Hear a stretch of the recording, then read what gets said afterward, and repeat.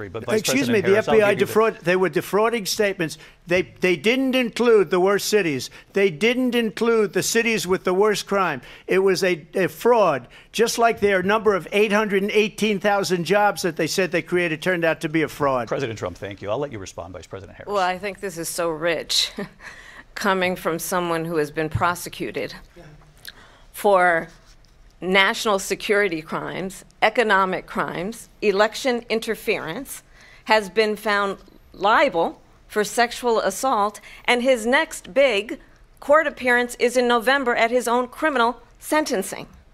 And let's be clear where each person stands on the issue of what is important about respect for the rule of law and respect for law enforcement.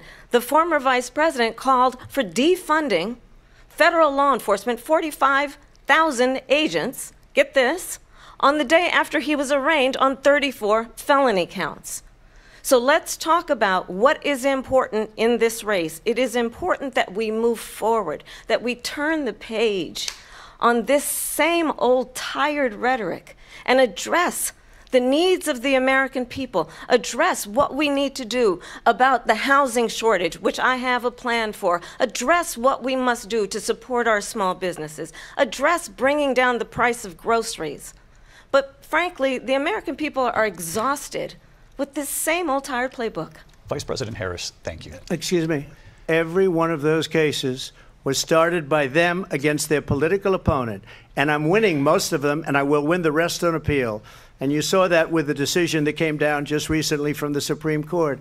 I'm winning most of them. But those are cases, it's called weaponization. Never happened in this country. They weaponized the Justice Department. Every one of those cases was involved with the DOJ, from Atlanta and Fani Willis to, to the uh, Attorney General of New York and the DA in New York, every one of those cases, and then they say, "Oh, he was he's a criminal." They're the ones that made them go after me. By the way, Joe Biden was found essentially guilty on the documents case. And what happened in my documents case? They said, "Oh, that's the toughest of them all." A complete and total victory. 2 months ago it was thrown out. It's weaponization, and they used it, and it's never happened in this country. They used it to try and win an election. President They're Trump- fake cases. President Trump, thank you. A really quick response here, Vice President Harris, on this notion of weaponization of the Justice Department. Well, let's talk about extreme and understand the context in which this election in 2024 is taking place.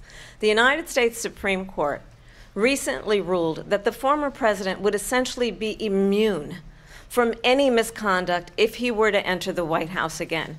Understand, this is someone who has openly said he would terminate, I'm quoting, terminate the Constitution of the United States, that he would weaponize the Department of Justice against his political enemies. Someone who has openly expressed disdain for members of our military.